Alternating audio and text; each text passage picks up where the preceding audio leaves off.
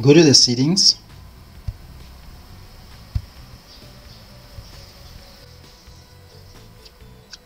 Click on accounts. Click on your info. Here you will see sign in with a local account instead. Click on it. Click on next. Password of your pin. Here it asks you about the usernames new password confirm password hint for the local account. You don't have to do anything. Leave everything blank and click on next. Sign out and finish. Preparing your local account without any password. Our windows will start automatically without requiring any password. It did not ask me any password if you want to log in back to your Microsoft account you go to the settings go to the accounts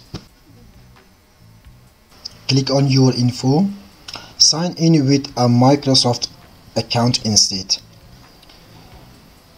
At the moment you cannot sign in with a Microsoft account instead from here.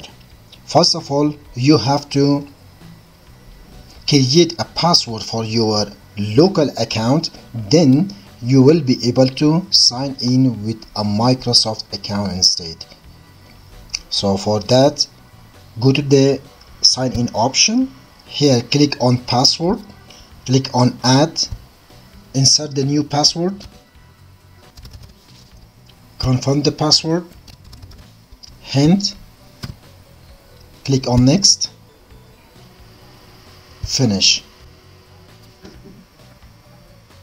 Once it's done then go to the your info. Now click on sign in with a Microsoft account instead. Insert the Microsoft account email.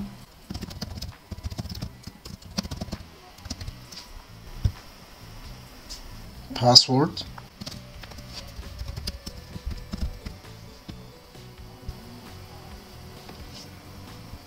here it asks we will need your current Windows password one last time.